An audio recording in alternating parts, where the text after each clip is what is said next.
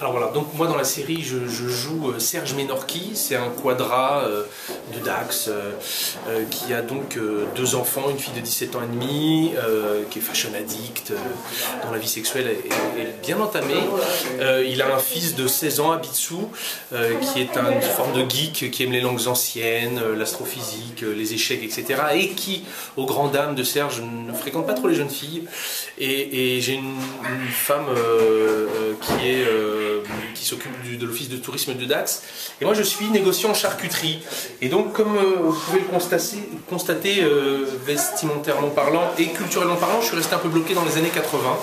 Donc, je suis toujours en décalage. Je, m'occupe de la maison, je suis un pater matrien un peu. Voilà, on n'a pas voulu faire euh, le, Quand on a créé la série, on n'a pas voulu faire un, personnage trop caricatural du macho, euh, un mec comme ça qui donne des ordres à tout le monde.